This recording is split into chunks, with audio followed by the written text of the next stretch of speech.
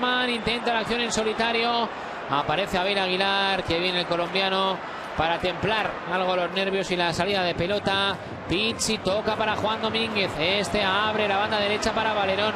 Valerón está atrás, delante, a la derecha y a la izquierda. Es Xavi Prieto. La pierde, no indica nada al colegiado. El balón retrasado para Juan Carlos Valerón, que bien habilita a Ricky. Ricky continúa con el balón. Hay falta clara de Markel Vergara, que va a ver la cartulina amarilla. Y bueno, y es la segunda, ¿eh? Es la segunda, se queda con 10 la Real Sociedad.